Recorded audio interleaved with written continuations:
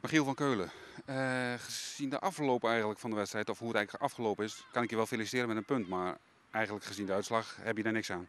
Nee, dat ben ik helemaal met je eens. Eh, ja, we komen hier gewoon voor drie punten. Een overwinning eh, hebben we gewoon nodig. Ja, dan mag je blij zijn dat je nog een puntje hier pakt. Hoe komt het dat jullie niet winnen? Waar ligt dat aan? We creëren gewoon te weinig het spel. We willen wel, de wil is er absoluut. Alleen, ja, zoals je vandaag ook weer hebt gezien, we komen gewoon niet eh, aan het voetballen. En wat wij eh, gewoon absoluut eh, wel normaal gewoon kunnen doen.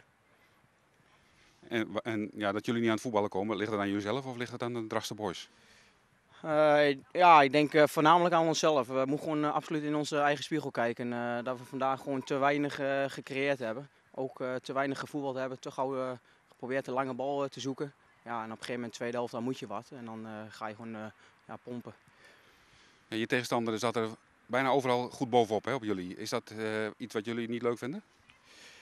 Nee, daar eh, moeten wij het gewoon niet, eh, niet van hebben. Wij zijn gewoon echt een, een voetballende ploeg. En natuurlijk, de eerste prioriteit is gewoon eh, het verdedigende organisatie neerzetten. En vanuit daar, van daaruit gaan voetballen. En dat hebben we gewoon veel te weinig gedaan. Dan even de 92 minuten denk ik dat het was, het doelpunt. Schrok je niet?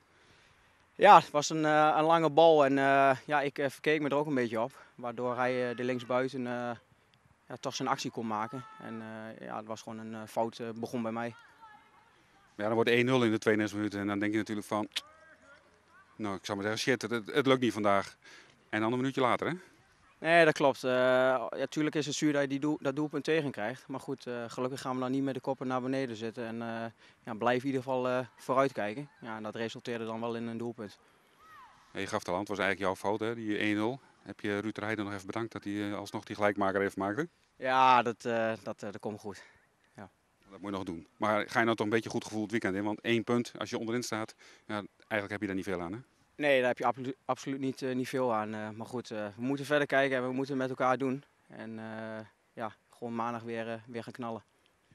Het positieve punt is, je hebt niet verloren. En daarbij een goed weekend in ieder geval. Dat dacht ik.